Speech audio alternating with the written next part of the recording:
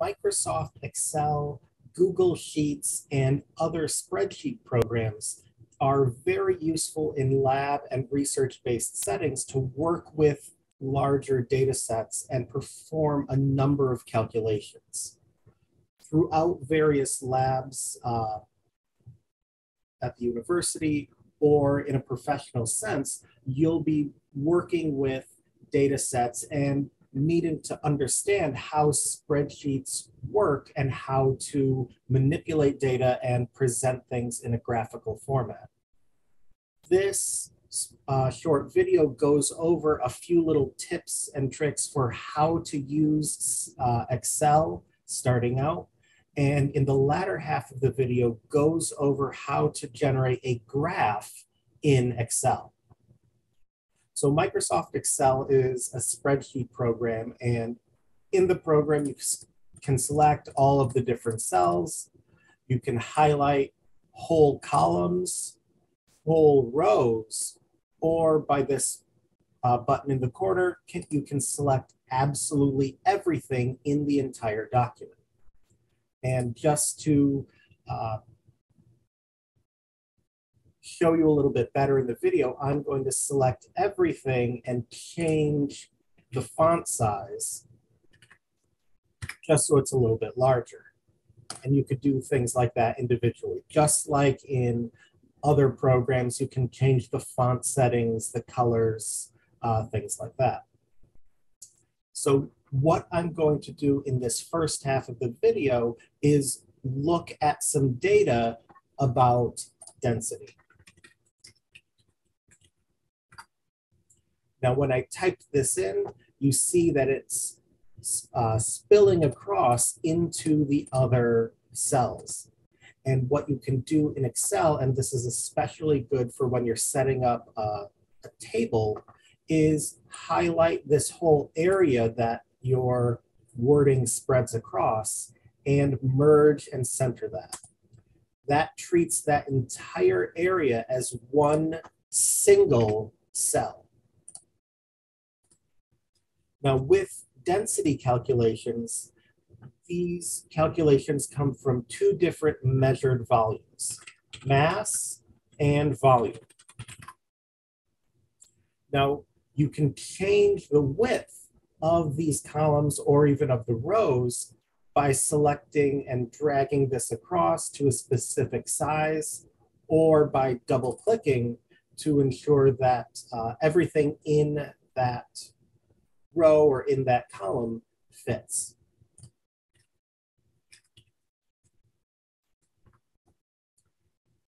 So I'm going to use just some standard data, particular measurements. So when you're typing in values, you're typing in numbers, they are treated differently in Excel than actual words. You can you can calculate using a number. You can add and subtract them. You can't do that using words. So Excel is built to recognize when something is a number and when something is not. This is important when you're working with numbers that have units associated with it. This 9.23 is justified on the right-hand side. This is telling you that Excel believes this is a number. If I was to put the number with the unit, 9.23 grams, it's now uh, aligned on the left-hand side. This is, or Excel is treating this like a word. You can't uh, manipulate or calculate that using 9.23G. So you'd have to label everything either in the columns or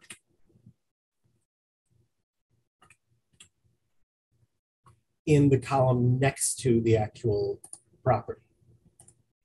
So I'm going to go through and utilize some of these values to calculate density as an example and use these numbers to show you how to manipulate some data and perform a couple of functions in Excel.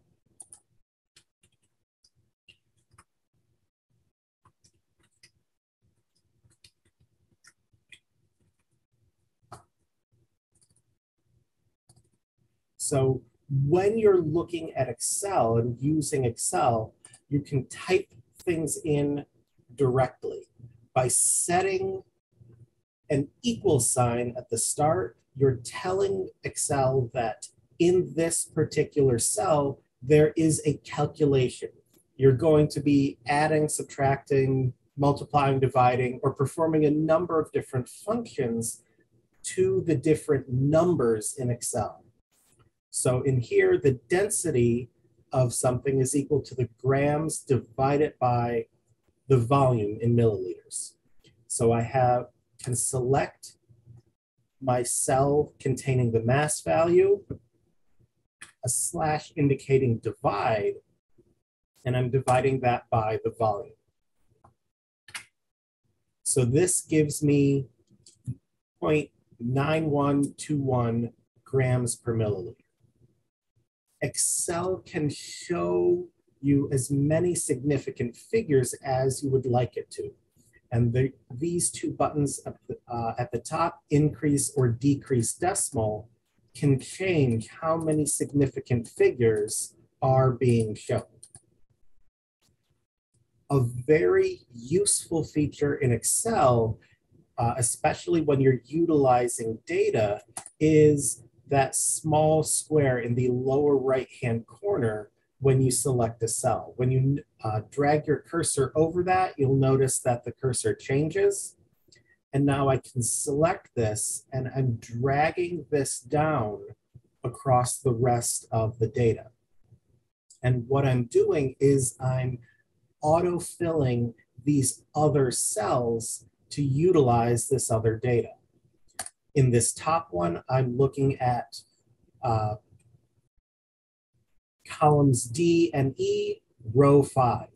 When I move that down, it's columns D and E, but now it's row six, just where I wanted it uh, to calculate. So now I have the density for all of these different trials. And you can do this with words as well. So that way um, you can go through and just type something in once or type in a function or a calculation once along with all of the data and then drag that down to auto calculate everything. Other types of calculations that Excel can do are built-in functions in uh, the program itself. So to total up these volumes to figure out what the sum of these values uh, is, you can add each individual value together or you can use a function built into Excel. And there are a lot of functions built into Excel. When you start with an equal sign and start typing a word or a letter, you'll be given a number of different functions. One of them is the sum function. This just simply adds the values together. So when you're starting a function, you'll type in the function itself, open a parentheses, and it kind of guides you along. You want to select number one, number two, etc. So by selecting a space and dragging down, selecting this whole area, it's telling Excel to give the total or the sum of all of that, all of the values from cell D5 through cell D8. And then I can close the parentheses. And that gives the total of this column.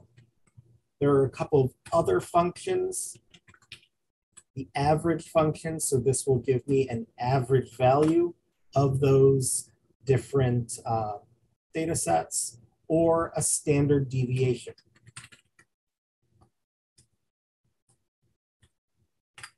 Again, I can take all of these and drag them over. And now it's totaling uh, the volume column, figuring out the average volume, the standard deviation of the volume, and of the densities uh, as well. So there are a number of different ways to calculate things in Excel. Um, the last part that I'm going to show in terms of these more simple calculations and tricks in utilizing Excel is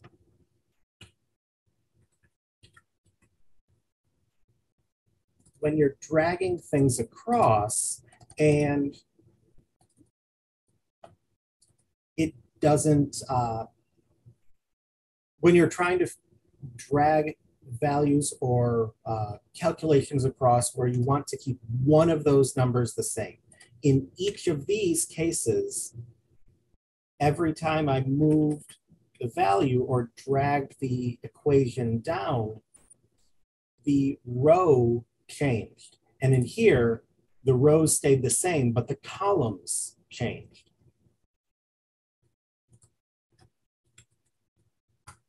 So here a percent error would be the difference between the measured value and the correct value divide it by the correct value again, and then all multiplied by 100%. So here you can change the format of the value itself. You can change this into a percentage and I can increase the decimal places. But when I drag this down, there are some errors that come into play. Here I am looking at F5, so right here, and I'm utilizing this G3 value, the 0.9000 grams per milliliter.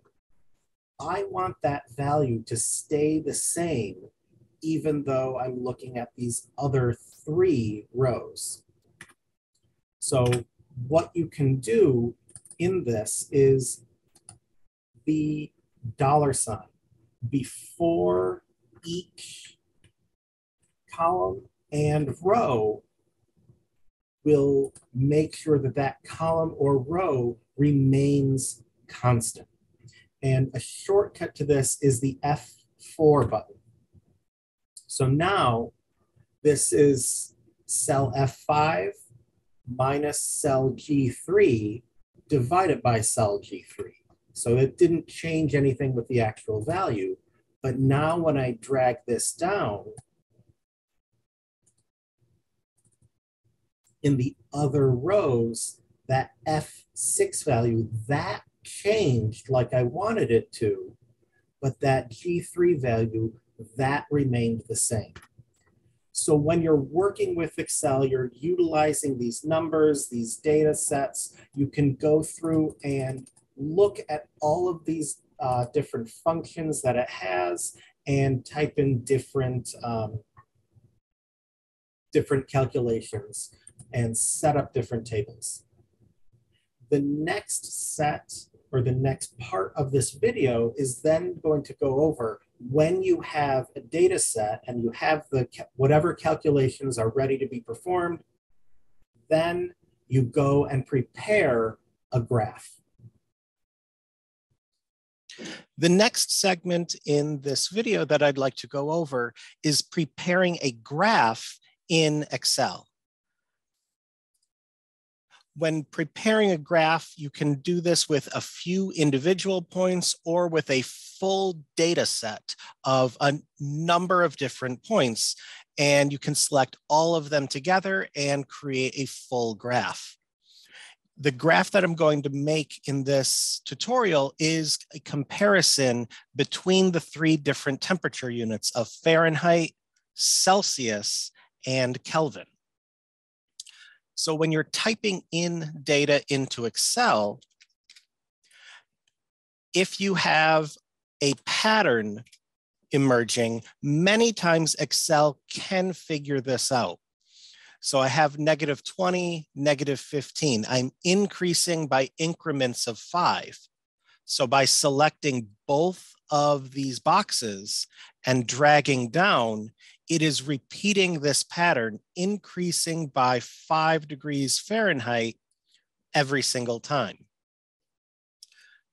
Next, I can use the known relationship between Fahrenheit and Celsius to convert between the two. The Celsius value would be the Fahrenheit value minus 32, and all of this is divided by 1.8. In uh, Excel, when you're looking at calculations, the parentheses are very important. So that way it does exactly what you're wanting it to do. You want to calculate certain things before um, other functions. So now this is the value in Celsius. And to convert that to Kelvin would be the Celsius value plus 273. And I can drag these formula all the way down.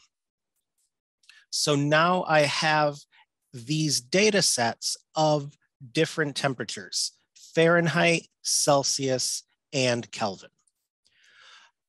When you're generating a graph in Excel, you can go to insert, and most times the graph that would be most relevant in this course and in many other courses could be or would be this. This is a scatter plot. And this is a kind it, it's like a line graph, but in a scatter plot, you are choosing what the X values are and what the Y values are. So I'm going to select that where I can see each individual data point. Once you have the box where you're going to have your graph, you can select the specific data and add the series. Now, what I'm going to be graphing is Kelvin on the x-axis and either the Fahrenheit or Celsius values on the y-axis. So for this first data set, this is going to be the relationship between Fahrenheit and Kelvin. So my series name, I can select exactly what I want to have. And I am specifically selecting my X values. I want Kelvin on the X axis, so I can select and highlight this whole segment. This is uh, selecting 15 different X data points. And I can select my Y values in Fahrenheit. Again, selecting all 15 of these data points. So now I have this graph of Kelvin versus Fahrenheit. You can also add more than one line on the same graph. And to do this, you're, you can add a second series. And in this time, I'm graphing the Celsius values using the same X values for Kelvin and now the Celsius values for the y-axis. So I have these two different series, these two different lines graphed on the same graph. In this particular case, I was looking at uh, graphing them using the same X values, but you since in a scatter plot, you are the one selecting what the X values actually are. You can select whole different segments and different uh, data sets so long as the axis remains the same. If you're so, uh, so long as in this case, you are graphing Kelvin on the x-axis, it wouldn't matter what you were actually graphing on the y-axis then. So when a graph is created, now it needs to be properly labeled. And in a graph or in Excel, you can add the individual chart elements one by one, or there are some pre-built quick layouts that you can select and that will bring in the various different things that you would want to label a graph. Every graph needs to have a title and each axis needs to be labeled. If there's more than one data set on the, or on the graph itself, each one needs to be clearly indicated which, uh, what that actually is.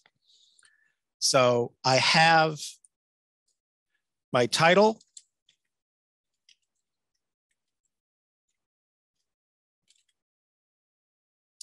and my axes titles. So my x-axis is the temperature in Kelvin. All the axes need, uh, if there's a specific unit associated with these values, that needs to be indicated. And on my y-axis,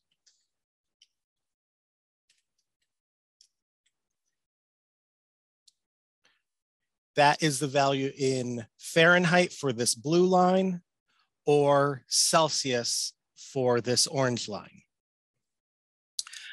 The other thing you can do with a graph is by selecting one of the data sets, you can either add the chart element or right click on the data set and add a trend line. These are straight lines. These are linear data sets.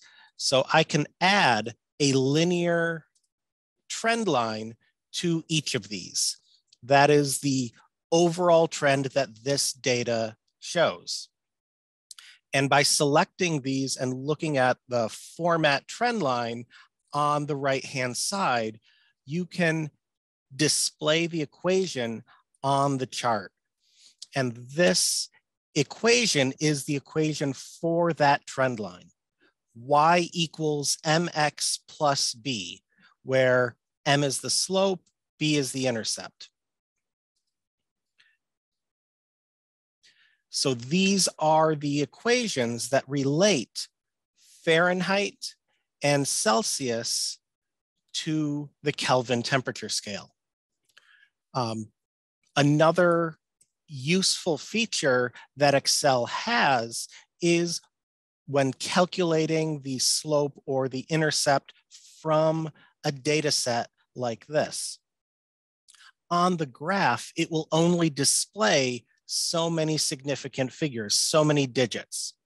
But you can calculate the slope or the intercept to a much higher level of precision using an actual function in Excel. So I can select uh, to equal my slope. And this is asking first for the known y's. What are the y values of the data set you're looking at? So I can select the entire Y value data set and then a comma. And now it's asking for the known X values. And in this case, it was the Kelvin temperature unit. Close the parentheses and I have my slope.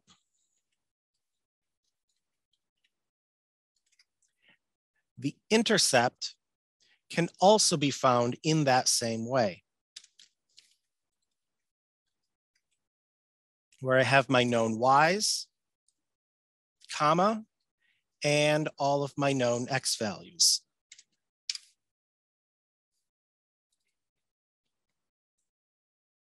So this is for the Fahrenheit data set, and you can even set this equal where the word is actually the same in uh, by using an, an equation, an equal sign.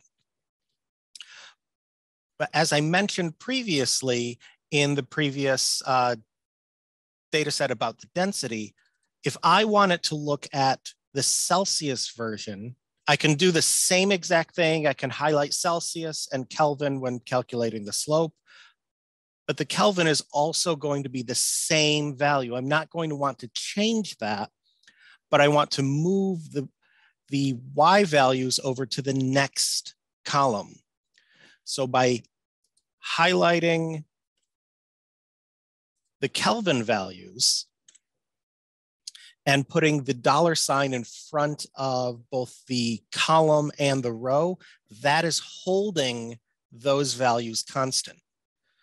So I can do the same thing for intercept and now can select all of these three cells, drag over, and I have the same information for now the Celsius column.